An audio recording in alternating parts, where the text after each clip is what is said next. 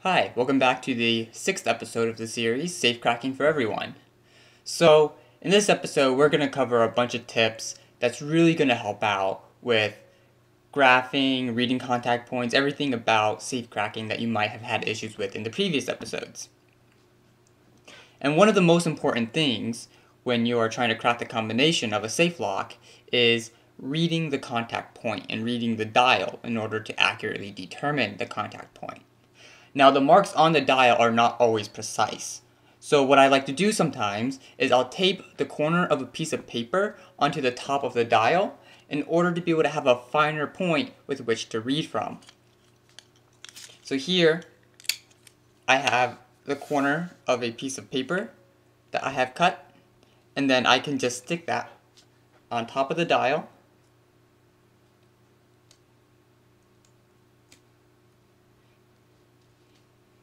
and then tape it down just like so. So you have a much finer point with which to read that contact point. Now you can use anything for this. A piece of paper like this, or a toothpick, or a, a piece of wire. Just anything fine and sharp at the end. And then you can also do it on the dial as well, but that's up to you. I, I personally just like it at the top. And Another issue is when you read the contact point, sometimes you might not be able to get the contact point so accurately. And there's an exercise to help with that. If you have issues reading a contact point consistently, first thing I would say is just to read the same contact point multiple times and then try and graph that down and to ensure you are consistent in getting that same result the same time. So if you have all wheels left on 50, for instance, so if I turn left, 50, come back to the contact point. Now I want to read that, not just once, I want to go twice, three times, as, as many times as is needed to ensure that I am consistent in my reading and that I get only one single reading. So that's a really good method in order to ensure you have a consistent reading of the contact point. Another way to determine if you are accurately reading the contact point precisely enough is to take a piece of paper and then stick it under the fence. So here, I have uh, the contact area away from the nose so that the fence is lifted off the wheel pack. And then I'm just going to take a piece of paper and I'm going to stick it, one sec, under the fence. And then I'm going to turn to the contact area so that fence falls down on that piece of paper, effectively lifting that fence up by the width of a sheet of paper. Now, when I feel the contact point, it should be higher here, it should be the right contact point at least, it should be higher than if I were to remove this paper, and then I feel it again, I should now feel a decrease by about one eighth or one quarter of an increment. Generally, for me, I find that the paper I use causes a one eighth drop when I take it out. And so that is very important to be able to determine whether or not you are able to precisely measure the contact point.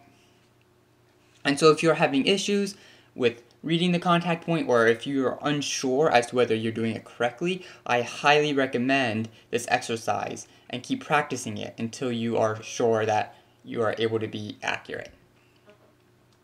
Also, another thing is really just make sure you are reading that contact point from the same angle each time. Uh, you might have noticed whenever I read the contact point, you know, I'm showing the lock to the camera, but I always turn it back to the same angle towards me each time to ensure I have very consistent results. Because rotating it either way can cause the apparent contact point to shift in either direction and you would not be consistent. Also, when you are feeling the contact point, what you want to do is apply the lightest amount of force possible. Now, one method for doing that is just running a finger or your thumb over the top of the dial until the dial stops moving. And I am using just the absolute minimum amount of force needed to move that dial and then letting my finger slide once that dial encounters any sort of resistance from the contact point. Now, you also want to make sure you're doing that from the same same place. So here I'm running my finger across the top and each time I'm running it from the top, I'm not just, I'm not doing it on the bottom or the side because dials sometimes have a little bit of wiggle. So I can wiggle it side to side or up and down a little bit because it's not in completely solidly. Otherwise, it would be a lot harder to turn. So when the dial wiggles, that changes slightly where the drive cam is. The drive cam will wiggle as well. It's a little hard to see, but you can see there's some wiggle to the side and up and down as well. So when you're applying pressure to the dial from the top, it might be different than if you're applying pressure from the bottom. So you want to make sure that dial is always seated far back and then you're feeling it with the pressure from the same angle each time. Another thing is if not so much as a tip but more of a quality of life uh, um, advice is in our last video where we covered the high-low test uh, in greater detail, there are some cases in which you might need to dial a number with the same rotation consecutively. So you might need to dial left 60 and then left 50 for instance. Well, if you want to skip that, you can dial one of those with the right rotation instead, so right 60, left 50. But you have to take into account rotational conversion. And what that means is this. If I have all the wheels picked up with left rotation and I set it at 50, then if I were to spin to the right now and stop just before I reach 50 and then just slowly keep going until I feel some resistance, until that third wheel comes into contact with the drive cam. Now it's going to be a little bit off. Here is actually half an increment off because remember dialing with left rotation to a number and dialing with right rotation to a number sets them at different places slightly. So here, for that third wheel, it's half a number off. And we want to write that down or keep that in mind. And then you keep spinning to the right. And then do the same thing for the second wheel. You feel you might need to use two fingers now. You probably are not going to be able to use just one finger for this, but you still want to use a minimal amount of force until you feel that second wheel pick up.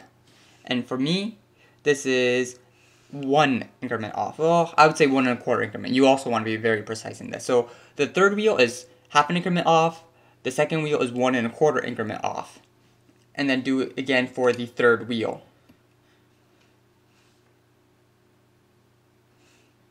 Now that third wheel is two increments off. So essentially, if you have a number you want to dial with left rotation and or right rotation and it's supposed to be with the other, all you need to do now is go past that number by that amount. So, for instance, the combination to this, it was, it was set at 20, 40, 60. So that's left 20, and the 60 is also with left rotation. Now, if I wanted to set those with right rotation, so 20, I would go to 20 first. Remember that first wheel, which corresponds to the first number in the combination, it was offset at two increments, and I want to go past it by two. Let me show you first here with right rotation to 20. It's hard to see, but that fence is not resting over a gate. You can see that gate is slightly offset. Now if I go past 20 by two increments to 18, now you can see that gate for that first wheel, it is now sitting solidly under that fence. So that is how you would apply rotational conversion to these numbers. And then I would go uh, left now, picking up wheels 3, picking up wheels 2, and then going to 40. And then wheels 2 was off by 1 and a quarter increment. So now I want to go past 40 by 1 and a quarter increment. And you can see wheel 2 is now perfectly lined up with wheel 1. Even though it's supposed to be dialed with right rotation and I dialed it with left rotation. I just went past the number by one and a quarter increments. And every lock is going to be the same. You might need to go past your number by two increments or e even only 0.5 increments. You just have to see. You just have to spin in one direction, park all the wheels at a number, and feel where they pick up with the opposite rotation.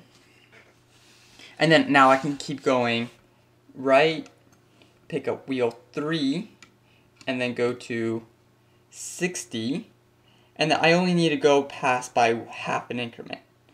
And so going past by half an increment, you can see all those gates are lined up perfectly, even though they were all dialed with the opposite rotation that they were supposed to be set with. And then to open, I would just spin left now until I reach the contact area and then turn right again to open. So that is how you solve the rotational difference when dialing numbers. If you do not want to put in the extra spinning required, that is required when you need to put two numbers with the same rotation consecutively. Now, it is highly recommended for you to try this as well. Uh, this is something that you really learn so much better by doing, and you will get the feel for it when you're actually manipulating. For when you actually are manipulating a lock, you don't need to think it through so much. You will have that muscle memory down, and you will have that uh, understanding of it down as well. So hopefully this helped. If you guys still have any questions, uh, any difficulties in any of the steps presented so far in this series, feel free to ask. I am always available and happy to help.